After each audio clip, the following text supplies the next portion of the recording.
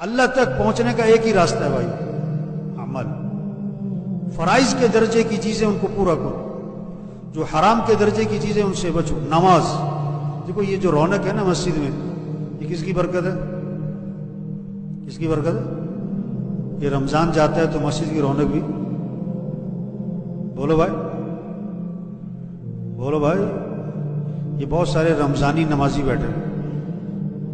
जैसे हाफज होते ना, रमजानी हाफज। इस तरह रमजानी नमाजी। अल्लाह तक पहुँचने का रास्ता अमाल है और उसमें सबसे अहम चीज़ क्या है? नमाज़ है। और नमाज़ कब तक है? कब तक है भाई? देखो, पहला चाँद नज़र आता है, मस्जिद भर जाती है। दूसरा चाँद नज़र आता है, मस्जिद। एक चाँद पर मस्जिद में आए, दूसरे चाँद से मस्जिद से। देखो, ये सब पक्की नियत करो, पाँचों नमाजें पढ़नी इंशाल्लाह। कितनी? कब तक? मौत तक। नमाज़ से हमारे मसले हल होंगे। नमाज़ पढ़ो। अल्लाह ने माल दिया है जक़ात दो माल दिया है हज करो हम अल्लाह, हमें अल्लाह को साथ लेना है। और अल्लाह को साथ लेने का रास्ता ये अमाल है। कुरान की तिलावत है। रोज़ाना एहतमाम से कुरान पढ़े। आधा सिपारा चलो पाओ से बारह घर का हर फर्द, अल्लाह तौफीक दे, पूरा सिपारा पढ़े, महीने में कुरान खत्म। देखो, अगर आप रोज़ाना एक सिपारा पढ़ो, रोज़ाना एक सिपारा तो महीने में कुरान खत्म। साल में कितने? साल में कितने भाई? बारह। तो आपको सौ नंबर। अगर आप रोज़ाना आधा सिपारा पढ़ो, दो महीने में कुरान खत्म। साल में छ आपको पचास नंबर। आप रोज़ाना पाओ सिपारा पढ़ो चार महीने में खत्म। साल में तीन। आपको 25 नंबर। पूरे साल में एक कुरान खत्म किया। आपको 10 नंबर। और पूरे साल में एक कुरान भी खत्म नहीं हुआ तो सिफर। अब हर एक देखे कि वो कहाँ खड़ा है? सौ नंबर पे खड़ा है, पचास पे खड़ा है, पच्चीस पे खड़ा है, दस पे खड़ा है के सिफर पे खड़ा किसी को बताने की ज़रूरत नहीं है। अपने आप से पूछ लो। तो सब नियत करो भाई, रोज़ाना कुरान पढ़ना है इंशाल्लाह। हमें अल्लाह को साथ लेना है, अल्लाह को साथ लेने का रास्ता ये अमाल है। नमाज़ है, कुरान है, ज़िक्र है। तस्बी का एहतमाम करें। देखो सच्ची बात है, जो ज़िक्र नहीं करेगा ना दिल मैला हो जाएगा। और जब दिल मैला हो जाएगा तो नेकी का शौक, नेकी का शौक मस्जिद को रोज साफ़ करना पड़ता है, घर को रोज साफ़ करना पड़ता है, दफ्तर को रोज साफ़ करना पड़ता है, ऐनक को बार बार साफ़ करना पड़ता है, गाड़ी का शीशा बार बार साफ़ करना पड़ता है। इस दिल को भी क्या करना पड़ता है? दिल को भी बार बार साफ़ करना पड़ता है। गुबार छा जाता है, मैल छा जाता है। दिल की सफ़ाई है कुरान की तिलावत से, दिल की सफ़ाई है अल्लाह के ज़िक्र से, दिल की सफ़ाई है आखरत के तस्करों से, दिल की सफ़ाई है मौत की याद से। दिल की सफ़ाई है इस्तेफार की कसरत से। जो कुरान नहीं पढ़ेगा, ज़िक्र नहीं करेगा, मौत को याद नहीं रखेगा इस्तेफार की कसरत नहीं करेगा, उसका दिल क्या हो जाएगा? मैला। और जब दिल मैला होगा तो नेकी का शौक शौक ही नहीं। नेकी की तरफ़ रगबत खत्म हो जाए बीमार को मीठी चीज़ें, बोलो भाई, बीमार को मीठी चीज़ें क्या लगती? कड़वी लगती। बीमार को उमदा खाने अच्छे नहीं लगते। खाने तो बहुत उमदा है। चीज़ तो बहुत मीठी है। वो खुद बीमार है। जब दिल बीमार हो जाता है फिर नमाज़ का शौक, मस्जिद जाने का शौक, रात को उठने का शौक, कुरान का शौक, नेकी का शौक, खत्म हो जाता तो सब नियत करो भाई, रोज़ाना ज़िक्र करना है इंशाल्लाह। कितना? कहते कम से कम तीसरा कलमा सौ दफ़ा, सुबह सौ दफ़ा, शाम इस्तफार सौ दफ़ा, सुबह सौ दफ़ा, और दुरू शरीफ सौ दफ़ा, सुबह सौ दफ़ा। इस पर आए, इस पर सबको लाएँ। घर का हर फर्द, घर के हर फर्द के पास तस्वीर होनी चाहिए। आज मोबाइल सबके पास है दो दो है तस्वीर नहीं है।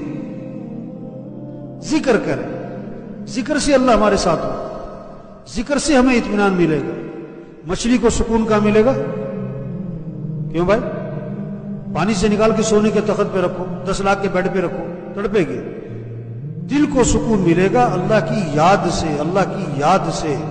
ज़िक्र के बगैर दिल को सुकून नहीं मिलेगा नहीं मिलेगा नहीं मिलेगा। बेचैन रहेगा। कहते टेंशन है जी डिप्रेशन हो गया जी बड़ी परेशानी है जी। भाई, ज़िक्र करते हो?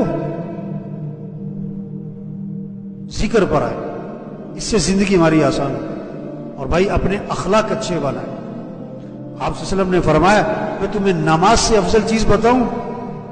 अरे, नमाज़ से अफजल? दूसरी बात फरमाई, मैं तुम्हें रोज़े से अफजल चीज़ बताऊँ?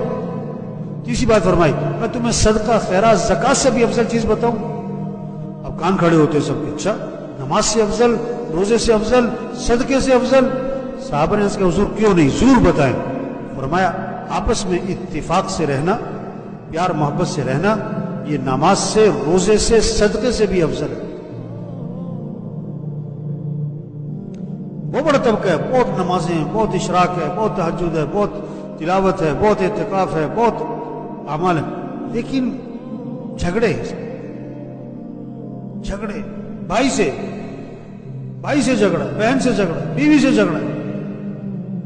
और झगड़ी ही जा रहे हैं, मुस्तकिल, बाजी नहीं आ रहे। आपने फरमाया कि आपस की ना इतफाकी ये मूड देने वाली चीज़ है, जिसे उस तरह बालों को मूड देता है, इस तरह ना इतफाकियाँ रंजिशें, ये झगड़े नेकियों को मूड के रख देते तो भाइयों जितने साथी बैठे ना, जिस जिसका झगड़ा चल रहा है, सब नियत करो, झगड़ा खत्म करना है इंशाल्लाह। झगड़ा क्या करना है भाई? कैसे खत्म होता है झगड़ा? झगड़ा कैसे खत्म होता है? आपसे गलती है, माफ़ी मांग लो। उसने गलती की है, माफ़ कर दो। झगड़ा खत्म। झगड़ा खत्म। आपसे गलती है तो क्या कर लो? माफ़ी मांगो। उसने गलती की है तो क्या करो? इस फार्मूले पर आ जाओ तो एक मिनट में झगड़ा खत्म। इस फार्मूले पे नहीं आओगे तो दस साल तक झगड़ा खत्म। नहीं होना। माफ़ करना सीखे। आप ने फरमाया, तुम लोगों को माफ़ करो, अल्लाह तुम्हें माफ़ कर दे। तुम लोगों के साथ नरमी करो, अल्लाह तुम्हारे साथ नरमी करे। तुम लोगों के साथ दरगुजर करो, अल्लाह तुम्हारे साथ दरगुजर करे। इसलिए भाइयों, सबसे गुजारिश, झगड़े खत्म करें। कितनों की बहुएँ नाराज़ होकर गई? कितनी की, कितनों की बीवियाँ साल साल से गई भी? आपस में बोलचाल नहीं है। एक घर में रहते हैं। एक मोहल्ले में रहते हैं। भाई भाई, बहुत बहुत बात नहीं करते।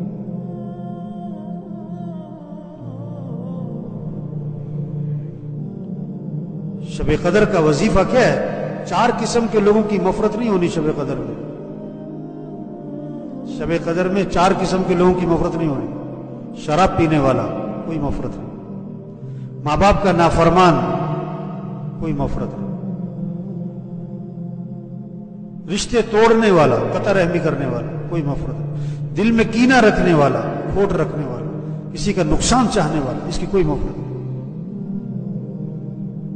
अखलाक अच्छे बनो तो सब नियत करो भाई, झगड़े खत्म करने इंशाल्लाह।